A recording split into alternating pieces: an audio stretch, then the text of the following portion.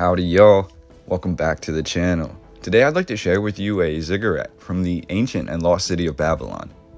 Why I find this important, in my last video, we discussed the Borobudur in modern day Indonesia, that structure being the largest Buddhist temple in the entire world.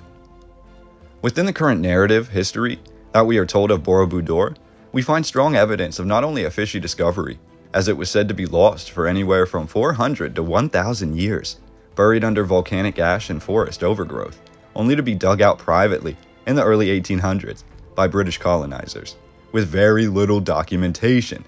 But within this narrative, we also find evidence that Borobudur was created by a group I'll term as the First Men.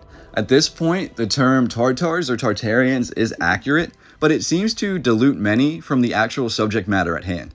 Ancient accounts worldwide, in all cultures, make reference to a group of highly sophisticated individuals who made use of arithmetic, advanced mathematics, astronomy, as well as language, which led to harmonics, and also, more specifically, the first use of baked, not earth dried bricks. The amalgamations of the stories of these first men led to a slew of different names depending on which culture and location stories you were referencing. Some of the most popular names for these individuals, or the most common, being the Celts, the Tartars, the Saka, the Sakai, the Huns, the Saka Akim, the Hakim, the Chaldeans, the Saxons, etc. These were said to be the olive, or bronze skinned, red haired men of immense size and intelligence. Their described appearance, almost a foreshadowing of their mysterious nature.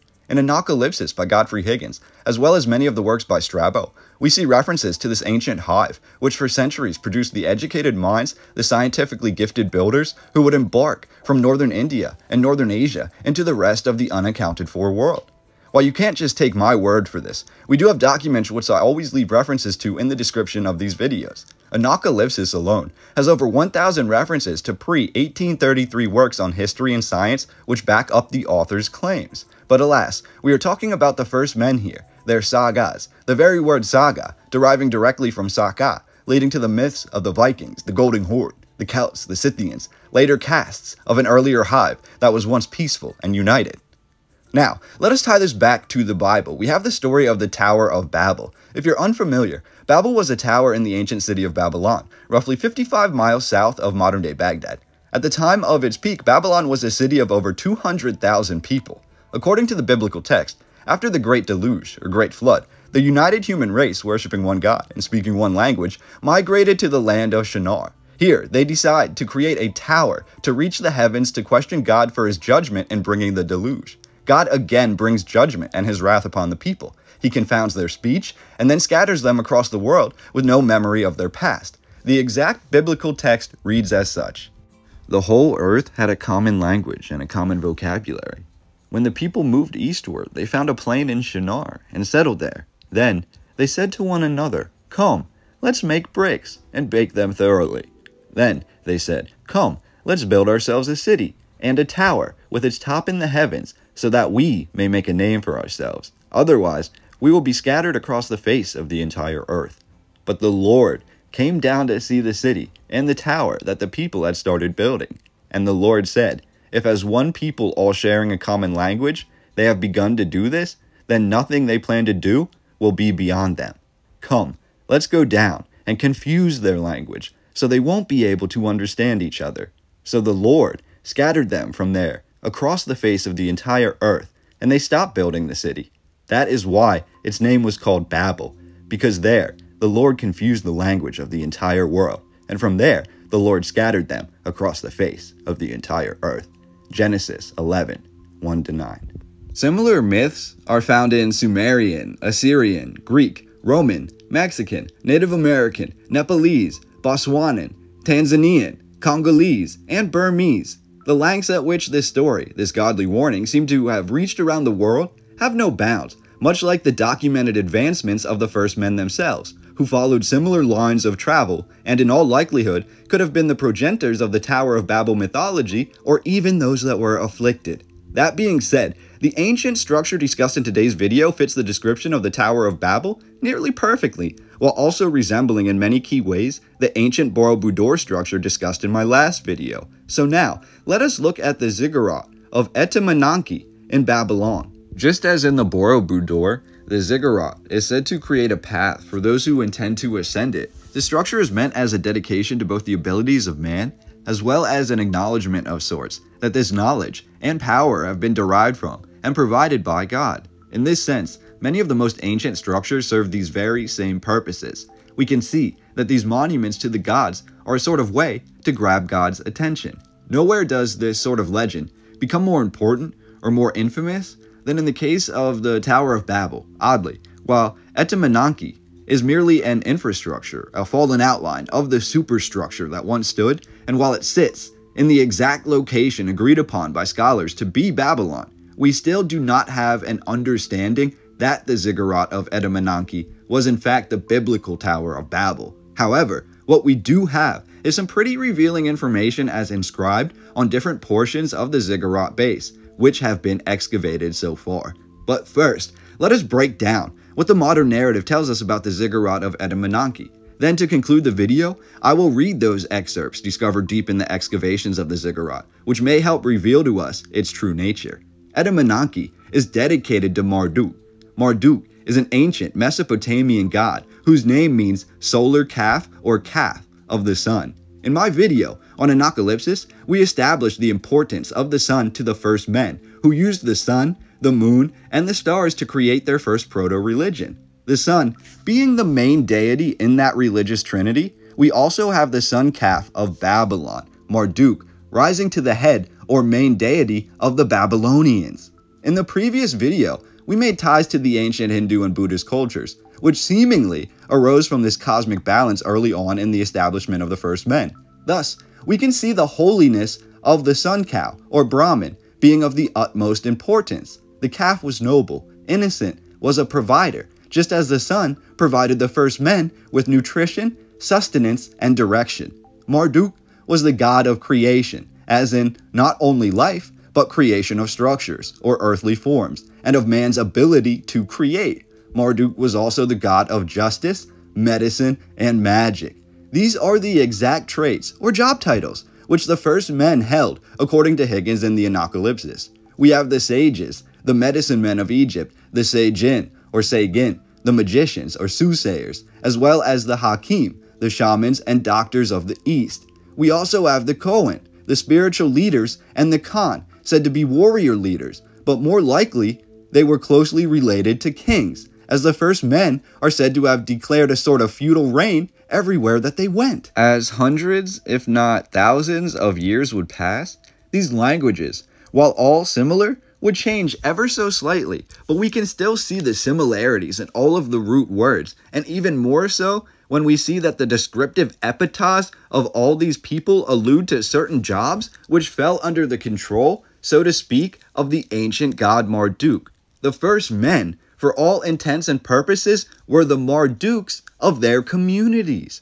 But here is where it gets even stranger. According to some ancient texts, the ziggurat of Etemenanki, built to worship Marduk, or to worship creation, wisdom, magic, and medicine, the jobs of the first men, also was associated with the god Bel. Bel is said to have been an amalgamation of gods, including Marduk. If you watch any old world videos, I need not explain why bell is important, but for those new to this subject matter, the shape of the modern day instruments, known as bells, and their usage throughout time has become quite a topic of discussion on our channels. Bells harmonics, sound resonance, the ability of sound to not only heal, but to destruct, have been discussed thoroughly on multiple channels. We have ancient accounts from the Middle East of magic using sound to gravitate or float objects into place. In modern times, we have complex understandings of sound, including string theory, which basically breaks down all matter into tiny, inconceivable waves. For centuries, we have bell towers, belfries, cathedral towers, being some of the tallest buildings in the world besides, let's say, the Great Pyramids. Every major city or town from pre 1900 was seemingly founded with a huge bell of some sort and a tower to house it. Do we know exactly what this means? We do not. But an interesting narrative arises as we research the ancient deity known as Bel, more specifically, as we read the story of Bel and the dragon. Essentially, every night, thousands of people would come to the Tower of Babel, or this ziggurat that we're talking about today, to dedicate food and sacrifices to Bel. Babylon being one of, if not the largest city in the world at the time, you have thousands of people throwing away their needed food, their needed belongings, their wealth, and even sacrificing family members to try and appease the gods. Why did they keep doing this? Call it trickery or call it ancient gullibility, but there was a Hebrew wise man by the name of Daniel who began to question these practices. He began to question the king, or the Khan, or the Cohen. The king responds, The god Bel takes the offerings as they are gone every night by the morning, claiming he did not want to displease the gods. So, in heroic fashion, Daniel sneaks into Bel's altar after dark, and he spreads volcanic ash through the altar floor. The next day, upon entering the sealed altar with the king, Daniel shows the king all of the footsteps of the Bel priests that were left in the ash. He proves that the priests would come nightly and take all of the food, the money, and even the bodies that were left for Bel, and then they would allow the public to believe it was a miracle provided by the god. The priests admit their wrongdoing, and they are all put to death. The story not only shows the evilness of men and the power of power to corrupt, but it also shows this disconnect between the seemingly naive king and the priests who were supposed to be under him, who are actually undermining him and tricking all of the people of Babylon. Why this story becomes important? In its conclusion, Daniel the wise man first attempts to reveal these tricks of the priests because there is said to be a dragon that is living on top of the ziggurat. The people of Babylon believe the god Bel is protecting them from this dragon, and they revered the dragon. So after the priests of Bel are caught subjecting the people of Babylon, it is written that a great man comes to rid Babylon of the dragon. In many aspects, this dragon can be seen as Bel, or the false version of Marduk, Marduk being the one true sun deity. This is echoed in who is said to have defeated the dragon and how. In some versions, we are told Daniel himself defeats the dragon, while in most versions, it is Alexander the Great who comes to Babylon and defeats this dragon. However, the way of destruction of the dragon is always very similar or always the same. It is literally blown apart or blown up. In one version, Daniel feeds the dragon straw filled with burning hot coals. In another, Alexander the Great feeds the dragon flesh, covered with poison and burning tar. However, in both stories, for lack of a better term, the dragon explodes. Now, bringing this completely full circle, stay with me, we have the legend of Marduk, for which the ziggurat of Babylon was built, who, in Mesopotamian mythology, is the god of the sign of the wind. In an epic battle, Marduk, the one true god, defeats the water god, Tiamat, by controlling the earthly winds, causing Tiamat to burst, just like the dragon, representing the false amalgamation god Bel, being burst by Alexander or Daniel. Furthermore, the ziggurat of Etemenanki or Babylon in later times was likely also the tower of Jupiter Belus, which stood in Babylon, this tower, often confounded with the Tower of Babel, often confounded with the Ziggurat of Etemenanki, was also eventually said to go from worshipping the sun calf Marduk to worshipping Bel. Just like this story of the fallen dragon, Alexander the Great would arrive to Babylon in the current narrative. We are told Alexander ordered the Ziggurat of Babylon to be demolished, but only because it was severely in disrepair. Could this be due to the fictional dragon battle that took place on top of it, which could have been a metaphor for something different? Either way, we are told Alexander planned and ordered the ziggurat rebuilt in all of its glory and only demolished it to have it rebuilt larger and more sturdy. However, Alexander the Great died before the ziggurat was even remotely close to being finished, and construction, following his death, would often follow similar proceedings to his. The new builder would tear down the old remains in hopes of starting fresh, only to face delays and then abandon the project. We are told Babylon was completely dissolute, unrecognizable, and abandoned by the year 1000. For the next 800 years, Babylon was looted, forgotten, and what remained of its very old roots were torn away, as Babylon is said to have been one of the richest sources of bricks used in the Middle East in medieval times, seemingly implying that later cultures would not be able to replicate the feat of building thousands of bricks. That's an entirely different can of worms though. Now that we've established what the ziggurat of Etemenanki or Babylon is, where it is, and that it is in all likelihood, according to modern day scholars, the location of the biblical Tower of Babel, I would like to now share with you two of the discovered inscriptions within the foundation stones of the ziggurat. I believe these written accounts will shed some very revealing light onto the narrative, as well as providing you with a first-hand account of what the ziggurat of Etemenanki could have looked like in all of its original glory. Mind you, just as these inscriptions were found many centuries after the ziggurat fell, we must take what they say with a grain of salt. The ziggurat, originally said to be built during the time of Hammurabi, roughly 1775 BC, is said to have been repeatedly rebuilt, coupled with constant additions to achieve the tower that many of us picture in our minds today. Here is what the original inscription found in the ziggurat has to say. The first comes to us from a stele, found in 1917 during excavations by Robert Koldewey. The stele contains the short royal inscription of King Nebuchadnezzar II. It reads, Etemenanki, Ziggurat, Babili, I made it, the wonder of the people of the world. I raised it, its top to the heavens, made doors for the gates, and I covered it with bitumen and bricks. End quote.